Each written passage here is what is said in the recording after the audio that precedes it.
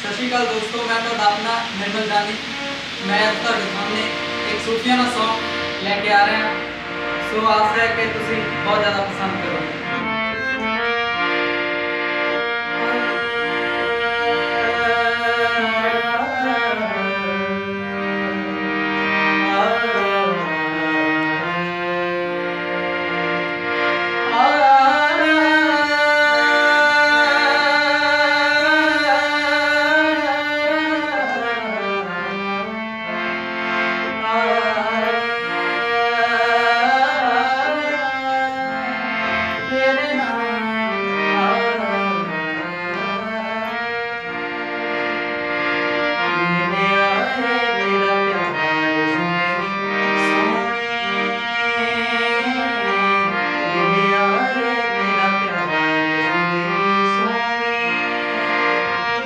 criatura.